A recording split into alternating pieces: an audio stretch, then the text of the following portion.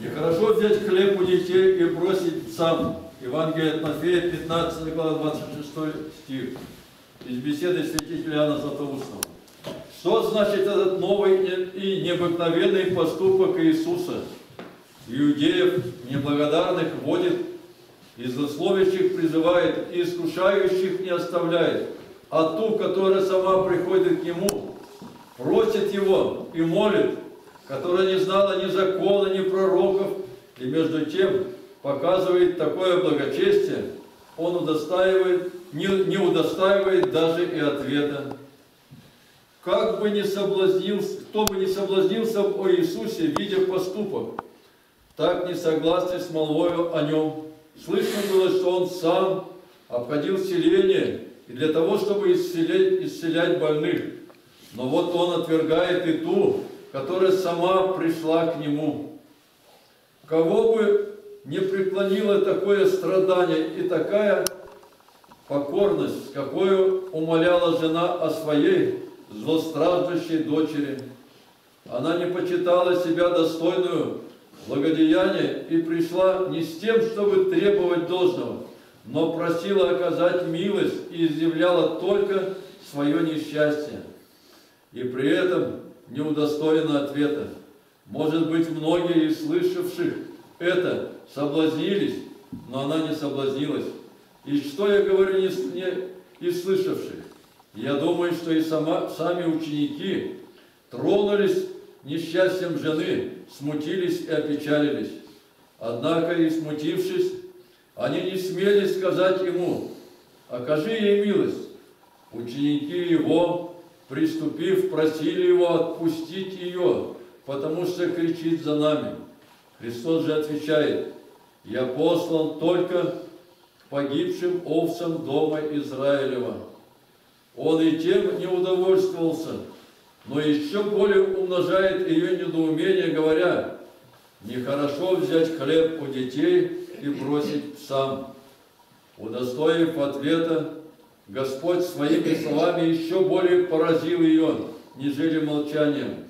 Он уже не ссылается на другого в свое оправдание и не говорит «я послан», но чем более, уси...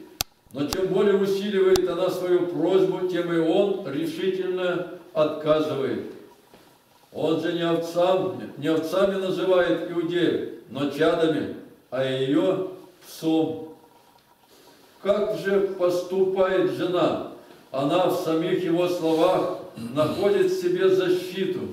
Если я пес, говорит, то значит я не чужая. Жена любомудрствует, показывает великое терпение и веру, несмотря на, на свое уничижение. Иудеи же, получая исцеление и почести, воздают противным. Я знаю, говорит она, что чадам необходимо давать пищу, но и мне она не совсем возбранена, несмотря на то, что я подобная псу. Если мне вовсе нельзя пользоваться пищей, то нельзя участвовать и в крохах.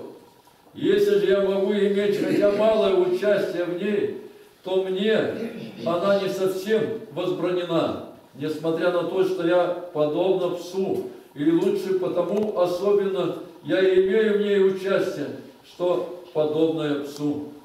Христос знал, что она скажет это, потому-то и медлил оказать ей помощь.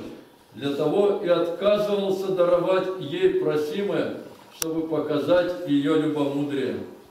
Если бы он вовсе не хотел оказать ей помощи, то не оказал бы ее и после этого, и не стал бы снова заграждать ей уста. Но как поступил он с сотником, сказав, «Я приду и исцелю его», Матфея 8 глава, чтобы мы узнали о благочестии этого мужа и услышали от него слова «Недостоин, чтобы ты вошел под кров мой». Как поступил он с кровоточивою, сказав, «Я чувствовал силу, исходящую из меня». Евангелие от Луки, 8 глава. Чтобы через то сделать известную веру ее, как поступил с самарянкою, чтобы показать, что она не отошла от него и после обличения, так поступает и теперь. Он не хотел скрыть столь великой добродетели жены, и то, что говорил ей, говорил не для того, чтобы укорить ее, но чтобы признать, призвать к себе и открыть скрытое сокровище. Но ты вместе с верою познай и смиренно мудрее ее. Господь назвал иудеев чадами, а она не удовольствовалась этим, но назвала их и господами. Так далека она была от того, чтобы завидовать славе других. И псы, говорит она, едят крохи, которые падают со стола господ их. Видишь ли благоразумие жены? Она не стала противоречить, не завидовала похвалам других и не оскорбилась собственной обидой. Какая твердость духа! Аминь. Арцем сердца, душе, помощение нашего,